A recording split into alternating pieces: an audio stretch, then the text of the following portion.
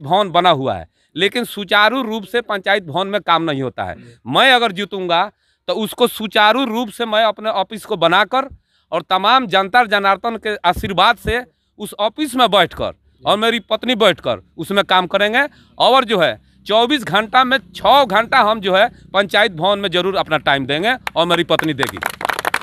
आप जाकर मेरे पंचायत में आप जनता से पूछिए सब हर वार्ड में आप जाकर पूछिए। जो काम अभी पाँच साल में मुखिया नहीं किए हैं वो हम लोग किए हैं। जी। जो। भी गरीब हो उसको हम लोग सहायता किए हैं। बाढ़ के वक्त हम लोग सहायता किए कोरोना के टाइम हम लोग सहायता किए हैं। और बेगर पद पर रहे। हारते हुए भी हम लोग सब लोग को सहायता किए हैं। जी। और हम हारे नहीं हारे हैं लेकिन फिर भी हम अपने हम खुद से नहीं लड़ रहे हैं। हमारी जनता हमको लड़ा रही है। जी। नमस्कार प्रणाम। आप लोग देख रहे हैं टीएसएफ न्यूज़ और मैं अभी धर्मबाड़ी पंचायत में हूँ। एक ऐसा उम्मीदवार जो कि दावेदारी पेश कर रहे हैं अभी लोगों से मुलाकात कर रहे हैं। इसके पहले भी ये मुखिया का चुनाव लड़े हुए थे और मात्र 200 वोट से हार गए थे। मात्र 200 वोट से हारे थे।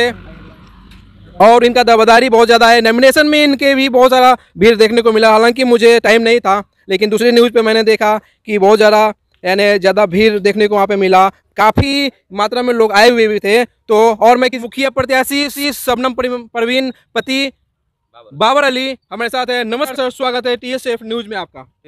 स्वागत है। चैनल के माध्यम से भी आपका मैं स्वागत करता हूँ। और सबसे पहले हम धर्मबारी पंचायत के तमाम जनता का स्वागत करता हूँ। थैंक यू सर हमारे जितने नौजवान हैं हमारे बहनें हैं बेटियाँ हैं माताएँ हैं दादा हैं दादी हैं चाचा है चाची हैं सबको मैं धर्मबारी पूरे पंचायत को मैं स्वागत करता हूँ। सर पह, सबसे पहला सवाल आपके पास सर बाबर अली जी कोई किसी चीज़ की कमी ही नहीं है। फिर भी इसके पहले भी आप चुनाव मैदान में उतरे थे और मात्र कुछ वोटों से आप हार आपकी हार हुई थी और अभी भी उतर गए हैं क्षेत्र में। आखिर रीजन क्या है सर इसमें बहुत सारे लोग खड़े हैं और आप भी उतर गए हैं। क्या रीजन है सर मैं आपसे ये बात ज़रूर पूछूँगा क्योंकि सर देखिए सबसे पहले तो मैं आपको बताना चाहता हूँ कि हमारे पंचायत का मैं खुद खड़ा नहीं हूँ न मेरी पत्नी खड़ा है। यहाँ के धर्मबारी पंचायत के तमाम जनता जनार्दन मुझे और मेरी पत्नी को मुखिया प्रत्याशी बनाकर सबनम परवीन को खड़ा किया है। मेरे पंचायत के तमाम लोगों का उम्मीद है कि बाबर जी का पत्नी सबनम परवीन अगर मुखिया होगी तो पंचायत का विकास होगा। क्योंकि मैं राजनीति छानबे से कर रहा हूँ और छानबे से मैं जनता से जुड़ा हुआ हूँ। और जनता मुझे पूरा विश्वास किया है कि इस बार अग, इस इसके पहले वाले चुनाव में मैं कुछ कारण से मैं चुनाव हार गया। लेकिन इस बार जनता ही ने मुझको खड़ा किया कि नहीं आप खड़ा होइए। हमको तमाम लोगों को आप पर विश्वास है कि आप जीतिएगा तो हम तमाम लोगों को विश्वास कीजिएगा। जैसे इंदिरा आवास हो गया है आप पता कर सकते हैं घूम घूम कर गाँव में जहाँ जहाँ दलित बस्ती है हरिजन का बस्ती है और भी बस्ती है कि इंदिरा आवास कहीं किसी गरीब को मिला ही नहीं है। नहीं मिला। इंदिरा आवास गरीब को मिलना चाहिए तो छत वाले एक ताले वाले को दो ताला करने के लिए इंदिरा आवास मिला है। और बाद 2001 2002 और दो हज़ार दो इधर 2018 में जो बाढ़ हुआ उसमें 75 परसेंट गरीब जनता को छः हज़ार रुपये जो सरकार देती है वो आज तक किसी को नहीं मिला है। वो भी बड़े लोगों को एक एक घर में छः छः छः हज़ार अस्सी अस्सी हज़ार रुपया आया है। गरीब को नहीं मिला है साथ तमाम धनी को मिला है। देखिए आप बता रहे हैं कि जनता ने आपको खड़ा किया है और आप आपकी पत्नी को भी खड़ा किया है। मतलब प्रत्याशी तो वही है। लेकिन आ, आप अगर बातें बोल रहे हैं ठीक है मैं मान लेता हूँ कि जनता ने खड़ा कराने के लिए खाना है और आपको इसके पहले भी आप खड़े थे अभी भी खड़े हैं तो अन्यथा आप एक बात मैं आपसे पूछना चाहूँगा। फंड तो सर बहुत सारे यहाँ पे आता है जो मुखिया प्रत्याशी का जो फंड है लाखों करोड़ों रुपए का फंड आता है लेकिन विकास मुझे कहीं देखने को नहीं मिलता है। बहुत कम पंचायतों में है कि जितना पैसा आता है उतना खर्च होता है। लेकिन अगर आप जीत कर आते हैं सर अगर आप जीत कर आते हैं तो पंचायत के लोगों के लिए आप क्या सोचे हैं और क्या कीजिएगा ये हमें बताइए। देखिए मैं अगर जीत के आता हूँ जी। मुखिया प्रत्याशी तो मेरी पत्नी है सबनम परवीन। लेकिन दोनों आदमी मिलकर हम जो सरकार का राशि आएगा उसको दुरुपयोग हम लोग नहीं करेंगे। उस राशि को हम लोग जनता के और धरातल तक और ज़मीन तक हम लोग उतारेंगे। जो भी योजना सरकार के होगा सरकार के देशानुसार जो योजना आएगा उसमें हम दोनों आदमी खड़ा उतरेंगे। जैसे इंदिरा आवास हो गया जितना इंदिरा आवास हो गया हर गरीब तक पहुंचेगा। सोलर लाइट हो गया हर पोल तक पहुंचेगा। आपका जो है लेटरिन का पैसा अभी तक नहीं नहीं आया है। अगर सरकार फिर दोबारा उस पैसा को देता है तो जितना गरीब बस्ती है सबको लेटरिन का पैसा मैं दिलाने का काम करूँगा। और जहाँ तक हमारे पंचायत में पंचायत भवन बना हुआ है लेकिन सुचारू रूप से पंचायत भवन में काम नहीं होता है। मैं अगर जीतूँगा तो उसको सुचारू रूप से मैं अपने ऑफ़िस को बनाकर और तमाम जनता जनार्दन के आशीर्वाद से उस ऑफ़िस में बैठकर और मेरी पत्नी बैठकर उसमें काम करेंगे और जो है 24 घंटा में 6 घंटा हम जो है पंचायत भवन में ज़रूर अपना टाइम देंगे और मेरी पत्नी देगी। सर आप ये वादे कर रहे हैं कि एक ऑफ़िस बनवाएँगे और ऑफ़िस में जितने भी गरीब हैं और जो भी गरीब हैं वहाँ पे आएँगे अपना कंप्लेंट लेकर चाहे दुखी जो भी मदद है वो मांगने के लिए आएँगे या कंप्लेंट लेकर आएँगे झगड़ा से लेकर हर चीज़ तक।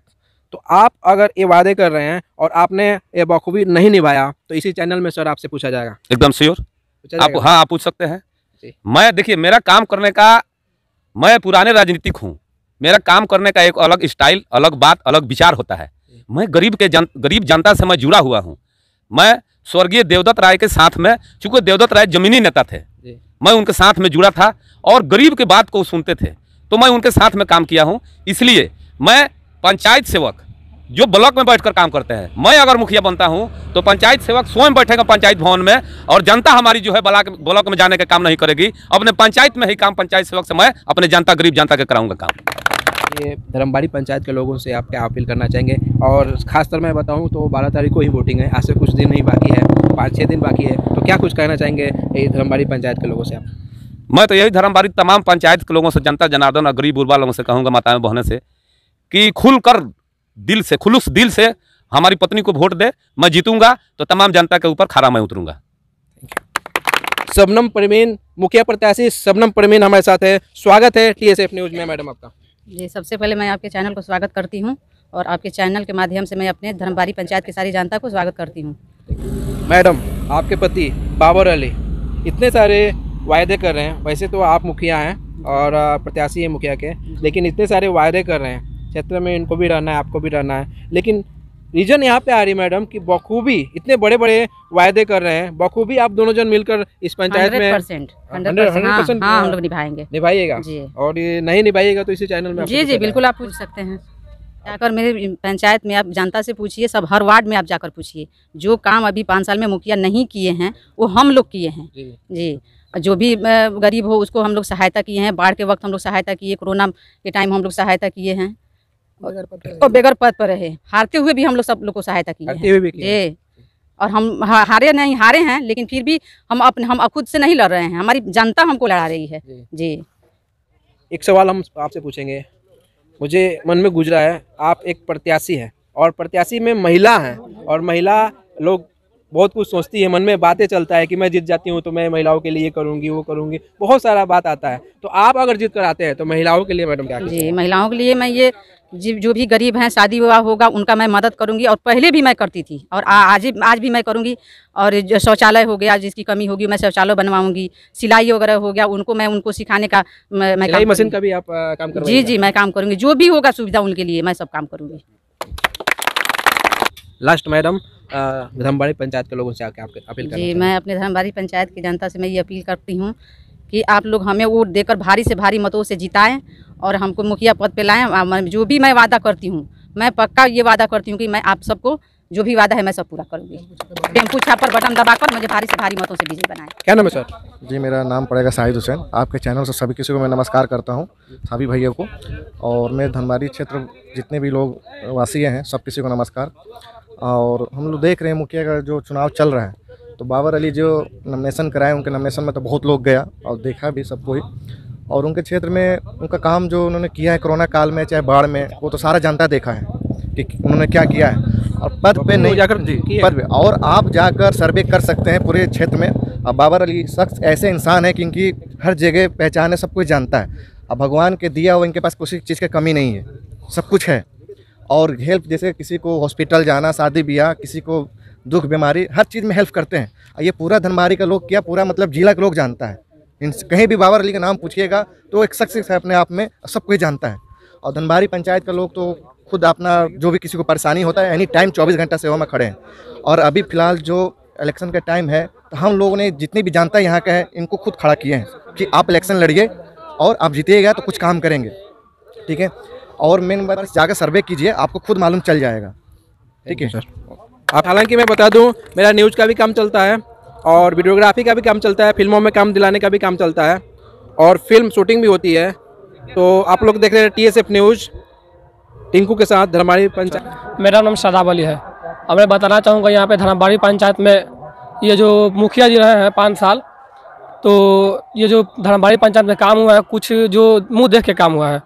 ज़्यादातर बड़े तो देखे कि दो तीन जगह ऐसा है जहाँ पे आज भी कुएँ से पानी निकाल के लोग पीता है धर्मबाड़ी पंचायत में। कुएँ से पानी कुएँ से निकाल पानी निकाल के भी पीता है लोग।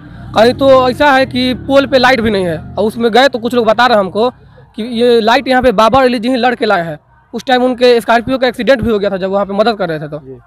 और यहाँ पे फिर इधर इधर पीछे भी कुछ वार्ड है। वार्ड नंबर एक में भी ऐसा है कि जहाँ पे लाइट नहीं आ रहा था। लाइट छः साल आने के बाद भी लाइट नहीं था। वहाँ पे भी बाबा अली ही जा करके लाइट लाए हैं।